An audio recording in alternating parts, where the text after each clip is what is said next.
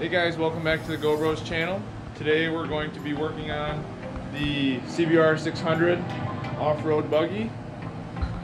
Um, we're going to be working on the chain tensioner.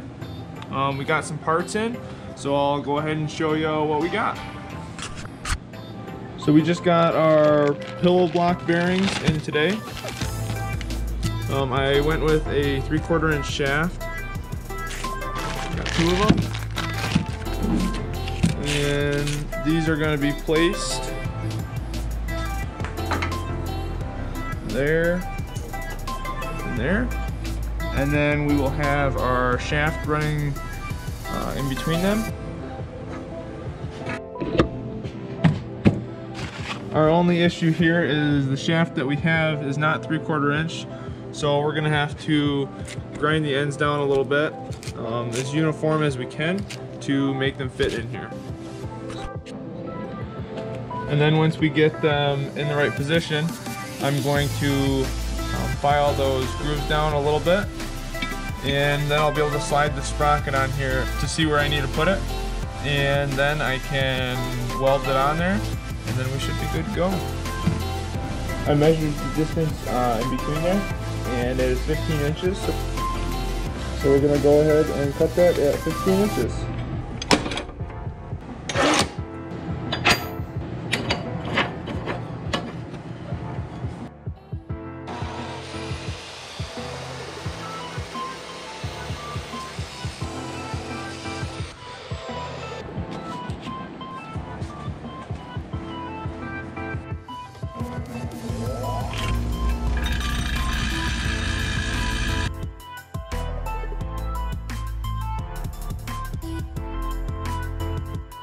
All right, so I got both sides ground down.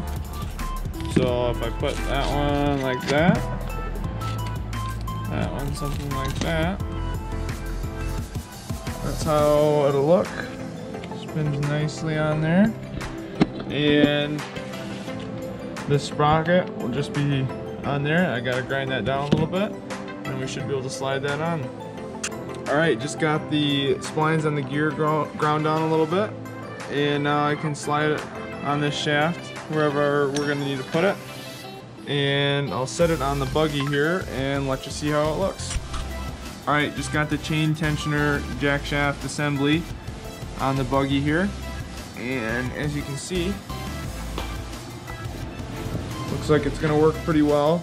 Um, my sprocket I am able to move on there so I can um, adjust where I want it and then I'll end up tacking it into place and making sure it's gonna work and then welding all the way around it. Um, but I can adjust that wherever I want. Our only issue as of right now is I have to figure out a way to make this clear because as you can see the case there is in our way. So I don't know if I'll have to make some other jack shaft or sprocket or something that's going to be able to keep it away from our case area after I figure out a solution for clearing this case then we'll drill holes for the pillow blocks and we should be good to put bolts in them and try it out.